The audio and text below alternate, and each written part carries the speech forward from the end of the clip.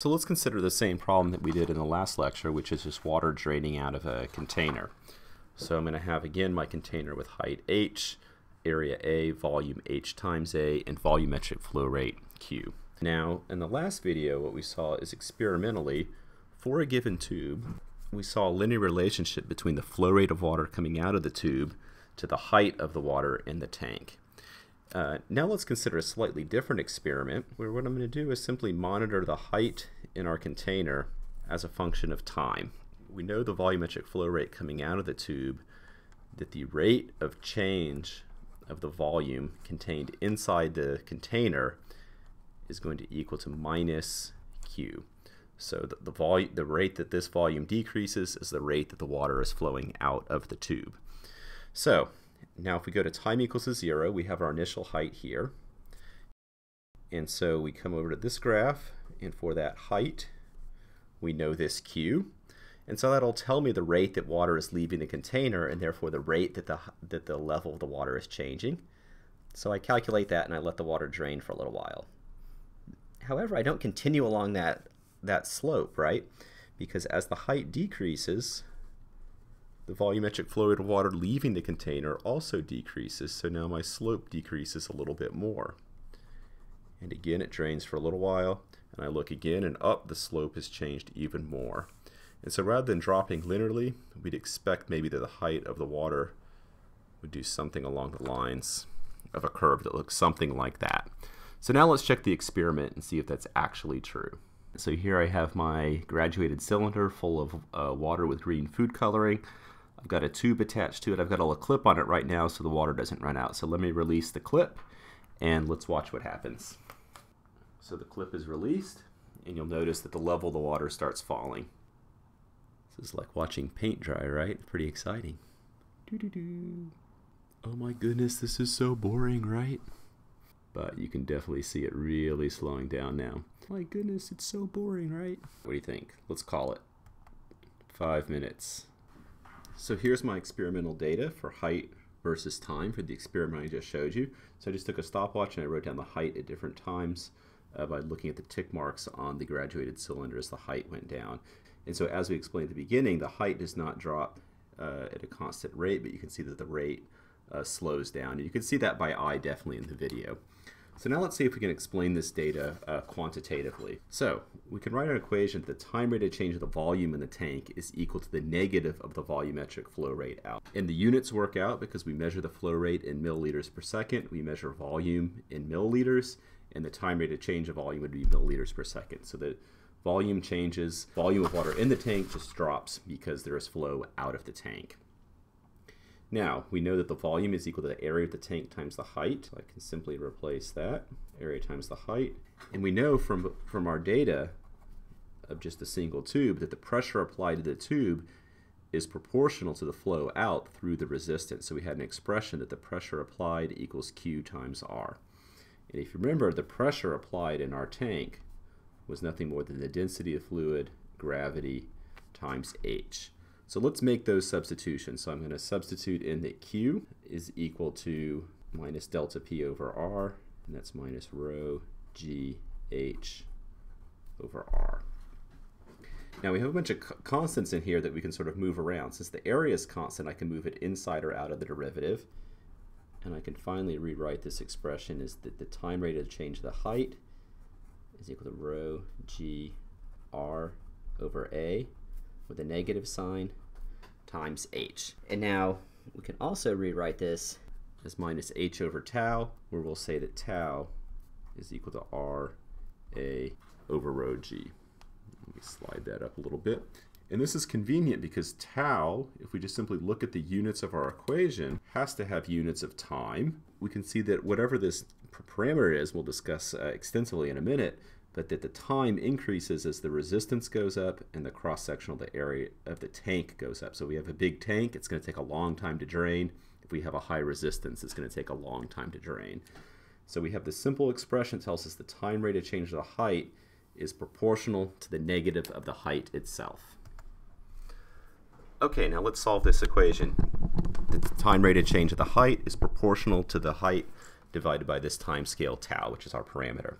So the way we solve this, you may have seen this trick before, but we move the h's on one side and the t stuff on one side.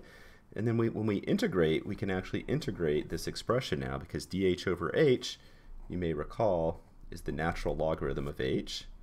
And we can easily integrate a constant dt divided by tau is just minus t over tau. And then we have some constant of integration, we'll call it c1.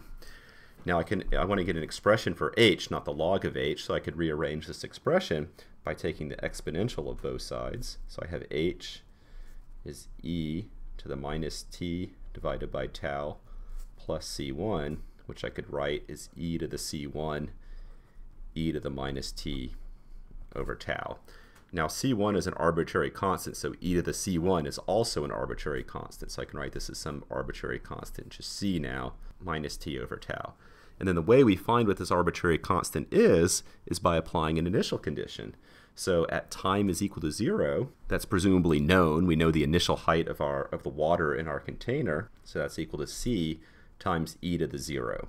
And e to the zero is just one, so our constant out front is nothing more than the initial height of the container. So h as a function of time is equal to the initial height times e to the minus t divided by tau. So now if we take our experimental data, we can compare this function to what we measured.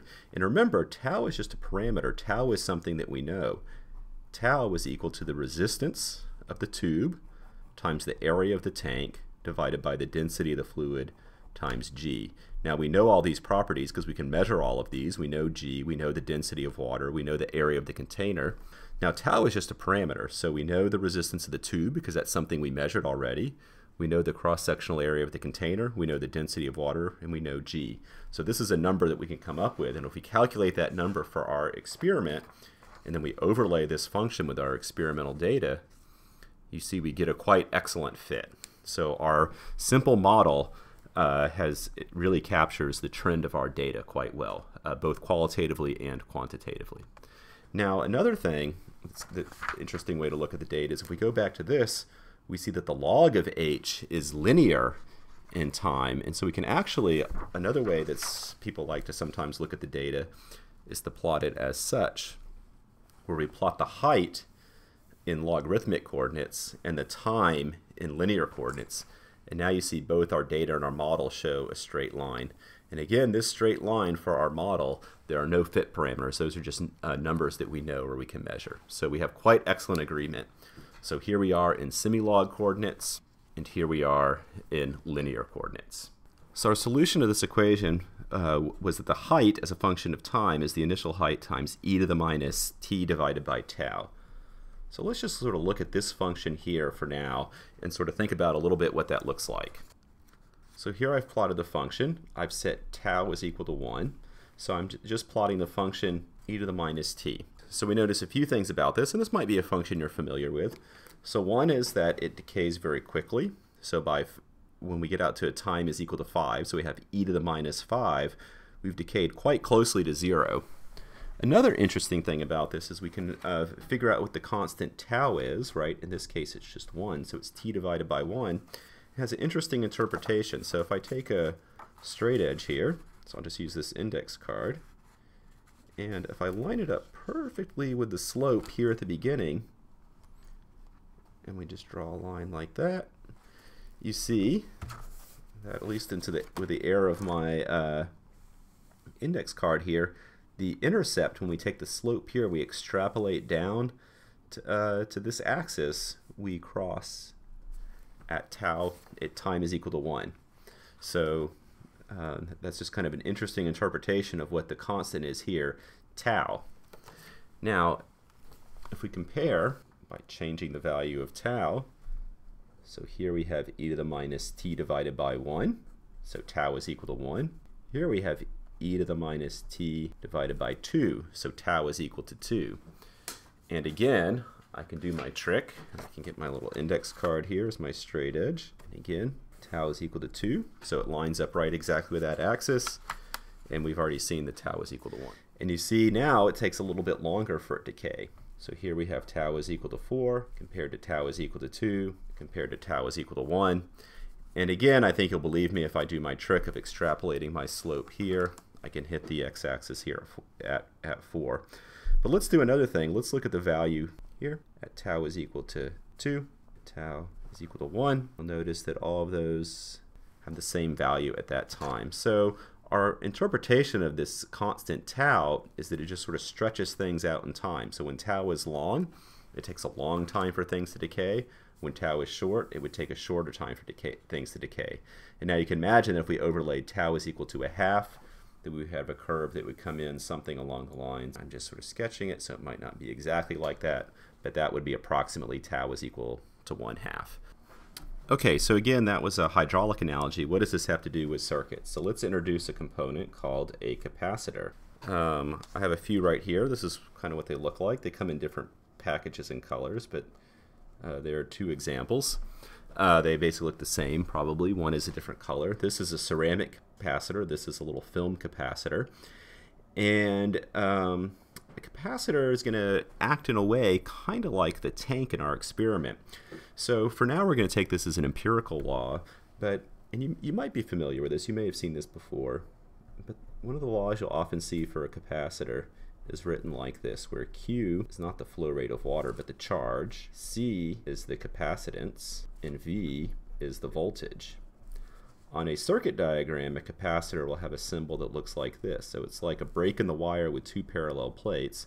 And the reason it has that symbol is because that's essentially physically what it is. And so the empirical law for the capacitor is that the voltage across the capacitor, so here V would really be the delta V, the voltage across it, but you'll often see it written this way. So the empirical law is that the total charge stored in the capacitor is proportional to the voltage across it. Now I say empirical law because we can measure that, uh, and we'll often do this in class, and we'll sort of observe this to be true.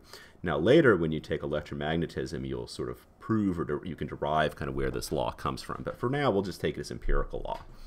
The form, though, that we'll use this law in is we'll take the time derivative of it. So we'll, we'll talk not about the charge, but the time rate of ch charge. So dq dt, the time rate of charge, is what we know to be the current. So the current going through the capacitor is equal to the capacitance times dv dt.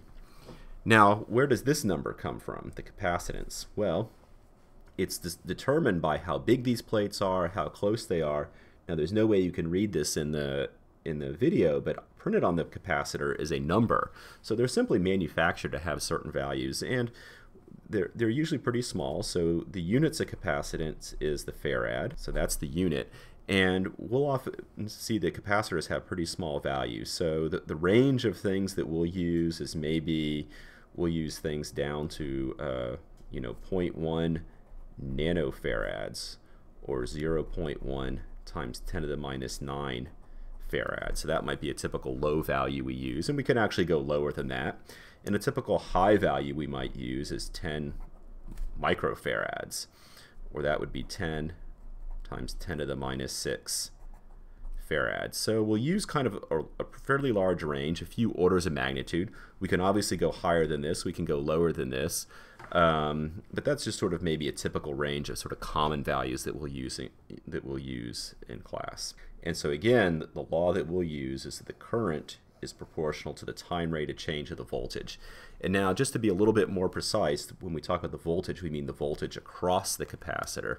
So to be sort of consistent, even though this is how you'll often see it written, we'll write it like this, the time rate of change of delta V, so meaning the voltage again across the capacitor. Okay, so now let's construct a simple circuit using capacitors. So I'm going to take a resistor and a capacitor and I'm going to put them in series and I'm going to connect them to ground. And so we'll discuss ground maybe a little bit later, but for now just consider this is the point where I'm always holding the voltage here to equal to zero. Here I'm going to have a voltage V and at time is equal to zero that voltage is going to be equal to 1. And also, I'm going to hold this voltage here at 1. So if we remember our laws, for the resistor we have delta V across the resistor is equal to IR. For the capacitor we have the current is equal to C time derivative of delta V. And here this is delta V across the capacitor. Here this is delta V across the resistor. At t equals to 0, delta V across the resistor is 1 minus 1. So it's 0 equals IR. So therefore, the current is equal to 0. If the current's equal to 0, our capacitor law is that 0 is equal to C d by dt of delta V across the capacitor. So that means this is not changing, and so it's consistent to have 1 volt here, 1 volt here, and 0 volts here initially. But now what we're going to do as at, is just after our time is equal to 0, I'm going to plunge this point into ground. And so now this point is not set at 1 volt, but is set at 0 volts. So now let's look at our laws again. At time greater than 0 now, we have delta V across the resistor, which is 0 minus, I'm going to call this voltage here V because now it's changing with time. So it's V of t, so it can change with time, is equal to IR. And since I took my voltage drop to go from this direction to this direction, I need to draw my current arrow flowing that way. Even though it might turn out that our current here is actually flowing the other direction. But it's no matter because the sign will take care of things. So I'm going to just draw the current going that way.